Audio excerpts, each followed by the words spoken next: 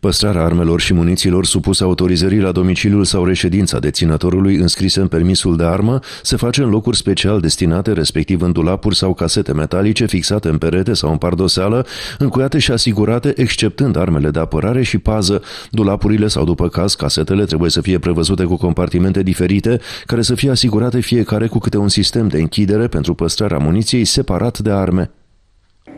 Articolul 31 din legea numărul 295 pe 2004 privind regimul armelor și al muniților și articolul 15 din hotărârea de guvern 11 pe 2018 privind normele metodologice de aplicare a legii numărul 295 pe 2004 referitor la regimul dreptului de port și folosire a armelor letale, precum și a celor neletale supuse autorizării.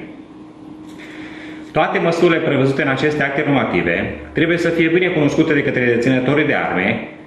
și să le respecte pentru a evita producerea unor accidente nefericite,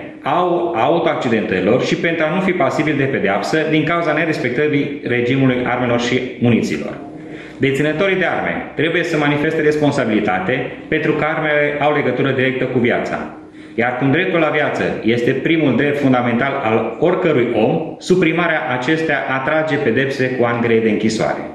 Titularul dreptului de a purta și a folosi armele tale are obligația de a păstra arma și muniția înscrisă în permisul de armă în condiții de securitate, astfel încât să nu permită accesul la acesta al persoanelor neautorizate. Titularii dreptului de a purta și folosi armele de apărare și pază pot face uz de armă numai în poligoanele autorizate sau în caz de legitimă apărare ori stare de necesitate. Deținătorii armelor letale sau neletale sunt obligați să anunțe de îndată, dar nu mai târziu de 24 de ore, cel mai apropiat organ de poliție despre dispariția, pierderea sau furtul acestor arme